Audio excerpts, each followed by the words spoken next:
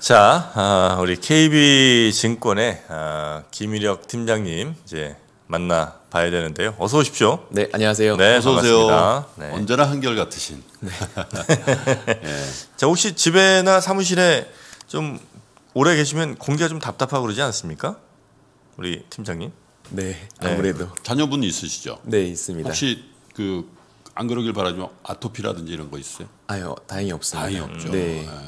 저희 아- 저희 딸내미 옛날에 고생 많이 했는데 네. 호흡기 질환도 없을까요? 네, 이거 이걸 꼭 네, 나와봐. 네, 이거를 집안에 아니면 뭐 사무실에 이렇게 들여놓으시면 공기가 굉장히 그 숲에 있는 것처럼 숲 속에 있는 것보다 더 좋습니다. 네. 네, 굳이 그렇게 멀리 청계산이고 어디 갈 필요가 마시고 우리 그 출연료를 그냥 우리가 그냥 모아서 이걸로 저기 아, 퉁치고 한번 해볼까? 아 그것도 괜찮네요. 어차피 이게 저- 들여봐야 쓰지 뭐. 네, 리스도 되니까 제가. 좀 어떻게 해드릴까요? 네, 감사합니다. 생각 있으면 말씀해 주세요. 감사합니다. 네. 네. 자, 우리 김일혁 팀장님과 함께 이제 본격적으로 순서 시작하도록 하겠습니다. 일단 어, 어떤 것부터 우리가 지금 짚어봐야 될까요? 아, 가급적 이제 대선 이야기를 안 하려고 하지만 왜요? 이제 왜 안 해요? 너무 이제 정치적인 그 시각도 있고 아니, 아니 그 그러실 필요가 없어요. 네. 왜냐하면 예측을 하는 거지 선호를 얘기하는 게 아니기 때문에 네. 우리가 지금 분위기가 좀 이상해요. 아니 뭐 미국 대통령 선거에 대해서 왜 이렇게 아, 틀리고 맞는 거에 나중에 망신당하는 것만 걱정하면 되지. 지금 이건 예측이지 내가 이 후보를 지지하는 게 아니잖아요. 아, 그렇죠. 뭐, 저는 뭐 시민권도 없고요. 그리고 뭐, 예, 뭐 제가 투표를 할 수 있는 것도 아니어서 네. 그리고 워낙 제 처음 나왔을 때부터 네. 어 약간 이번 대선 결과와 좀 결과에 따라서 많이 좌우되는 그런 내용들을 네. 많이 말씀드렸다 보니까 아무래도 뭐 다른 내용들을 조금 더 말씀드릴 게 없을까 했지만 네. 이제 내일 모레 이제 대선이니까요. 네. 이걸 또 말씀드리지 않을 수 없는 사항이 그렇죠. 됐네요. 네. 금위기 이후에는 경기 사이클을 결정하는 게 이제 통화 정책이었잖아요. 음. 근데 지금은 통화 정책에서 통화 완화 기조는 사실상 상수가 돼 버렸고 네. 그래서 이제는 재정 정책이 너무 중요해졌고 연준 인사들마저도 재정 정책이 이제 나와야 된다라고 네. 해서 이번 선거가 사실 어느 때보다도 더 그런 면에서는 중요한 것 같습니다. 네. 누가 대통령이 되고 또 누가 의회 권력을 가져가는지에 따라서 재정 정책이 결정되기 때문에 어 이제 재정 정책, 경제 그리고 금융 시장 움직임을 결정하는 주요 요인이 됐다, 될 거라서 네. 저희는 이런 면에서 이번 대선 그리고 선거가 상당히 중요하다고 생각하고요.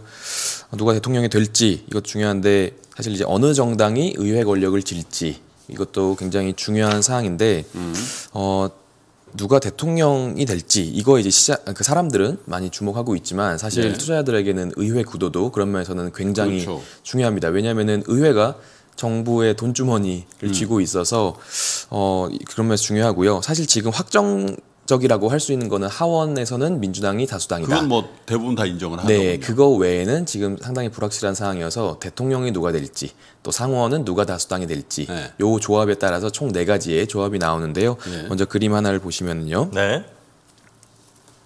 현재 베팅 사이트 당선 가능성을 기준으로 해서 시장이 예상하는 대서, 대통령과 상원 이 조합의 확률을 계산해서 보면은 트럼프 대통령과 공화당 지금 현재 유지되고 있는 거죠. 이게? 네, 맞습니다. 트럼프 대통령이 되고 공화당이 상원 다수당 지위를 유지한다가 13%로 가장 낮고요. 예. 반대로 바이든 후보가 대통령이 되고 민주당이 상원 다수당이 돼서 저 위에 이렇게 도형 세 가지가 있는데 네모는 대통령이고요. 동, 어, 동그란 거 두 개는 상원과 상원. 하원입니다. 이른바 blue wave네요. 이게. 맞습니다. 이게 clean sweep이라고도 이제 하는데요. 예. 이게 이제 2008년도 금융위기 직후에도 있었고요. 네. 그리고 어 대공황 이후에도 한번 있었죠. 그래서 음. 이렇게 blue wave가 강하게 올 가능성이 현재로서는 가장 높게 점쳐지고 있지만 적지 않은 확률로 현재 바이든 후보와 후보가 당선되고 그다음에 공화당이 상원 다수당이 될 가능성도 네. 아주 낮지는 않은 상황입니다.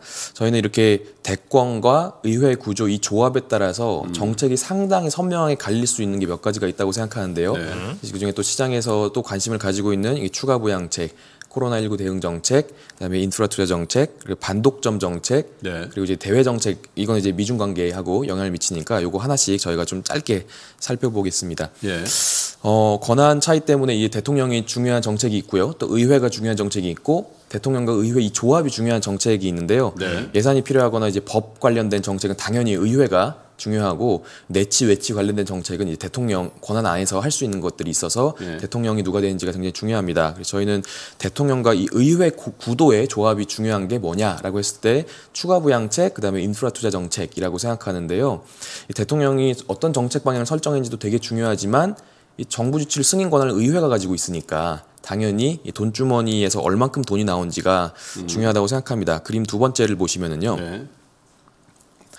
이 추가 부양책에서는 의회 구도가 이 부양안에 겨 있는 규모를 결정 지을 거라고 봅니다. 이 대통령이 트럼프 대통령이 됐을 때 상원 다수당도 이제 공화당이 가져가면은 네. 가장 작은 규모의 추가 부양안이 나올 가능성이 저희는 높다고 생각하고요. 그 와중에도 이제 민주당이 그 상하원을 모두 장악해서 의회 구도를 확실하게 어, 가지고 간 아, 권력을 가지고 간다면은 저희는 꽤 큰 규모의 부양안이 나올 수 있을 거라고 생각합니다. 트럼프가 됐을 때 네, 트럼프가 대통령이 재- 재선이 됐을 때요. 그리고 바이든 후보가 대통령이 됐을 때는 민주당이 상하원을 다 장악할 경우 상당히 큰 규모의 부양책이 있을 거라고 생각하는데요. 어 이게 그러면 왜 3.5조 달러 지금 민주당 얘기하지 않았냐? 왜 그거보다 작냐? 이렇게 생각하실 수도 있는데 저는 3, 3조에서 3.5조 요 사이 정도를 보고 있고 사실 오바마 대통령도 아까 말씀드린 것처럼 금융위기 이후에 오바마가 대통령 되고 상원 하원 모두 다 이제 민주당이 장악하는 blue wave가 있었거든요.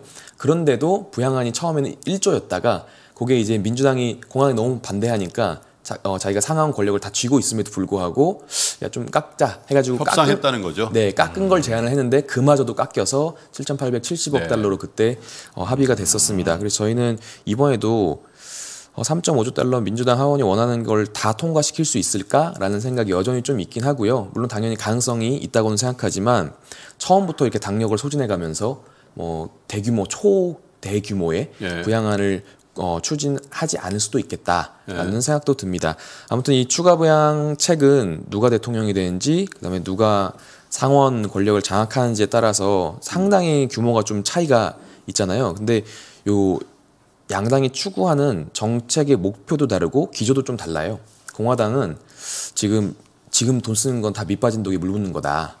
어차피 코로나 통제 안 되면 어려운데 백신 나올 때까지 다 기다리고 그때까지 일단은 빠르게 경제를 열어보자라는 그런 입장이에요. 근데 어 그래서 너무 많이 쓰지 말자 이런 얘기를 하는데 민주당은 코로나19 통제하기 전까지는 경기 회복 어렵다. 사실 이게 지금 계속 나타나고 있는 현상이기도 네. 합니다. 그래서 빨리 코로나19 통제하자.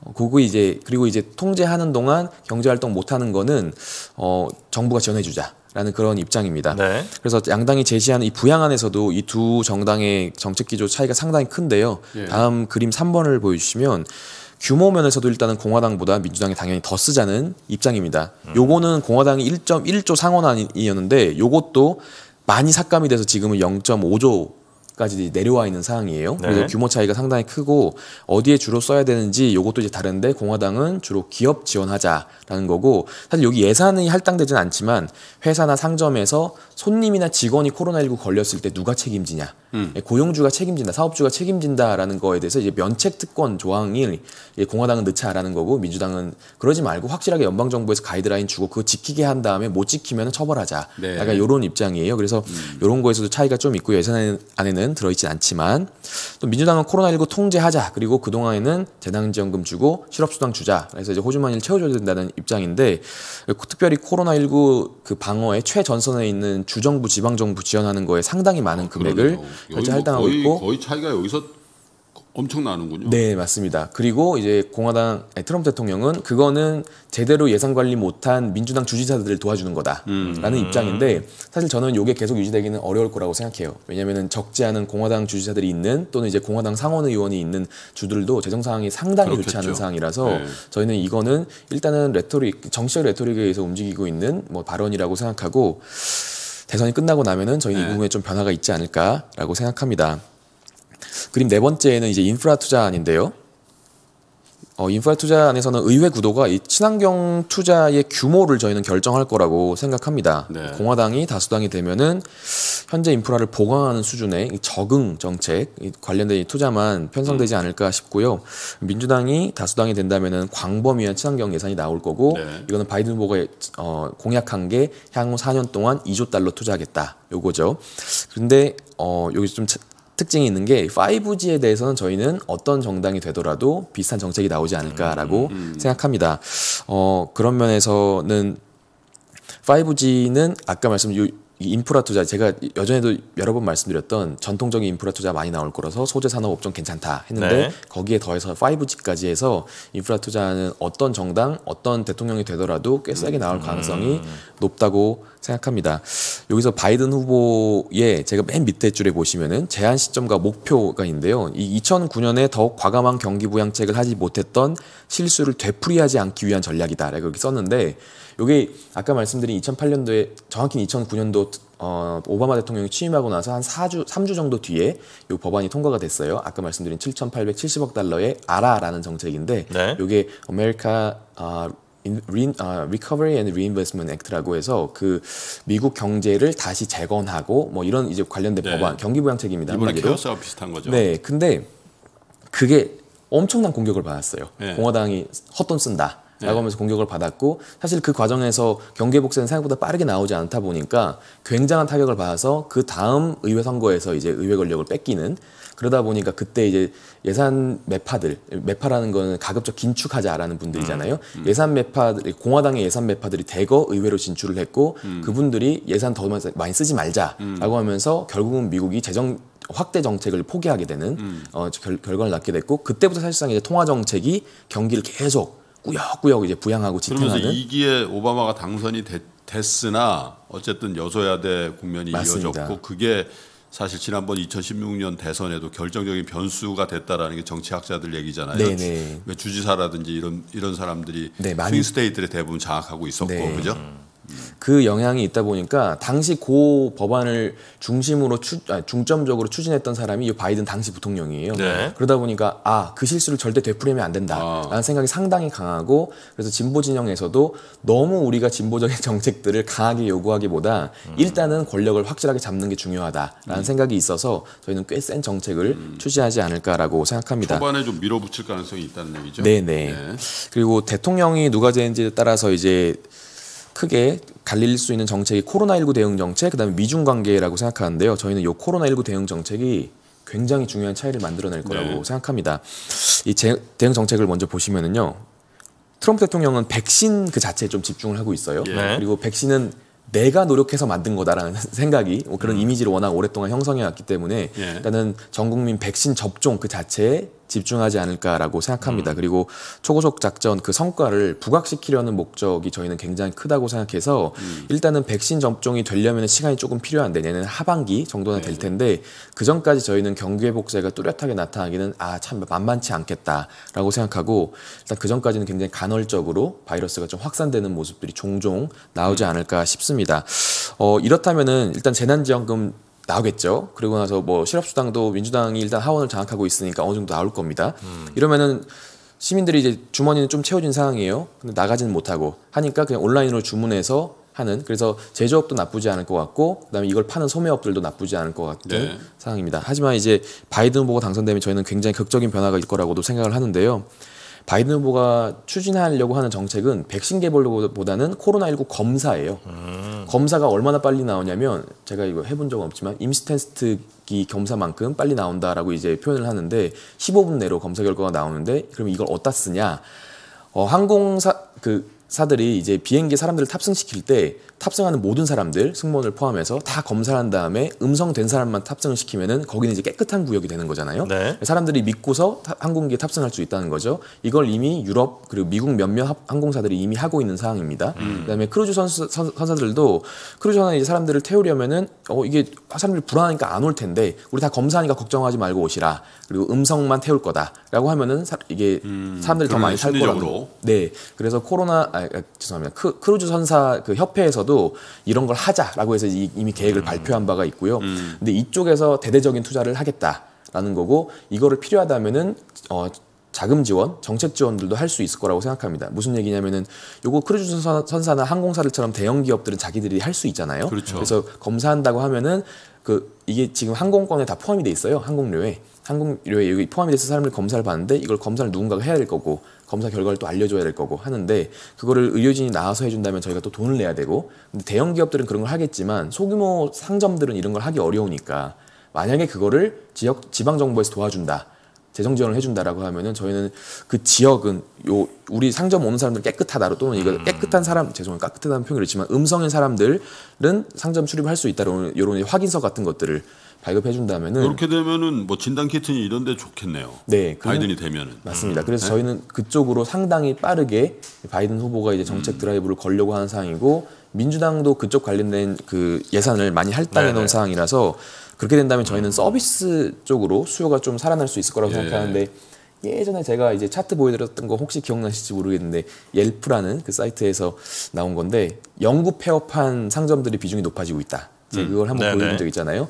자, 그래서 저희는 공급은 그만큼 좀 못 따라오지 않을까라는 생각도 들어서 서비스 물가가 생각보다는 네. 조금 더 빨리 오를 수 있다고도 생각합니다. 그러니까 일반적으로 우리가 뭐 바이든 되면 뭐 풍력 좋을 거 이런 얘기는 이제 많이 했는데 그거 말고 네네. 트럼프가 됐을 때는 백신이나 뭐 백신 관련된 바이오나 제약 이쪽 혹은 뭐 아마존 뭐 이런 온라인 업체들이 더 좋을 것 같고 네.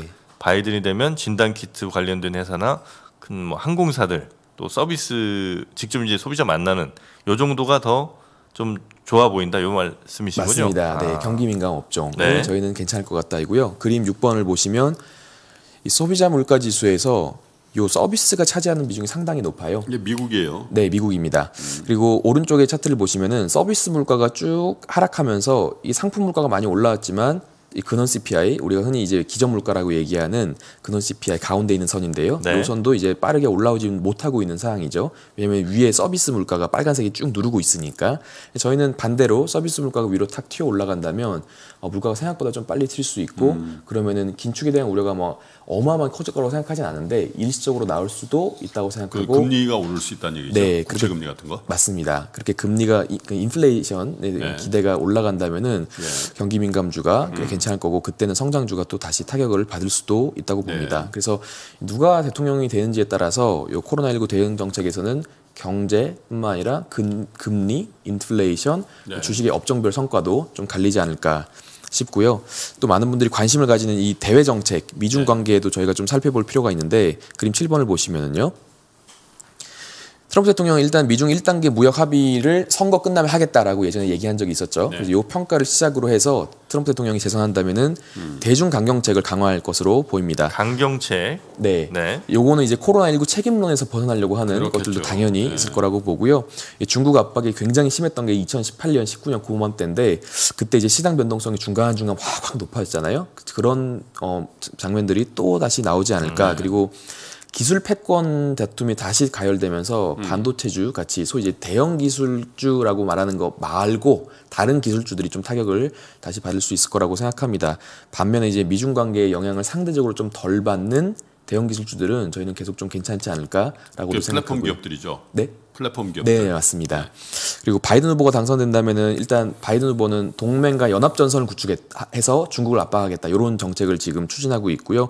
단기적으로 일단은 트럼프 대통령이 워낙 대중 강경책을 써왔고 이게 이제 어, 반중 여론을 잘 이용했던 거라서 당장 대중 유화책으로 전환되기는 저희는 되게 쉽지 않을 거라고 생각합니다. 하지만 어, 일단은 압박을 중, 중요하게 생각하는 이게 네거티브 방식보다는 어, 가급적이면은 이제 우리 안에서 영향을 쌓아가자. 그래서 싸워보자라고 하는 파지티브 방식을 추구하고 있어서 일단은 불확실성은 좀 낮아지지 않을까라고 생각하고 미국이 경쟁력 있는 분야에 대해서 중국의 양보라든지 개방 이런 것들을 확고하게 더 보장받는 에, 그런 협상이 될 거다. 이게 금융 개방이라든지 뭐 이런 네네. 이런 거가 이슈가 될 거다라는 얘- 얘기를 많이 하더군요. 네, 맞습니다. 그런 의견에 상당히 동의하고 또 한편으로는 동맹국에서 잘하고 있는 거는 지금까지 트럼프 대통령은 철저한 미국 우선주의여서 동맹이나 아니면 적, 적국이라는 표현을 있지만 동맹이 아닌 국가나 그냥 다 적처럼 대했었잖아요. 네. 네, 근데 그게 아니라 동맹은 확실하게 우대해서 너가 요거 요거 잘하니까 이거는 그냥 잘하자.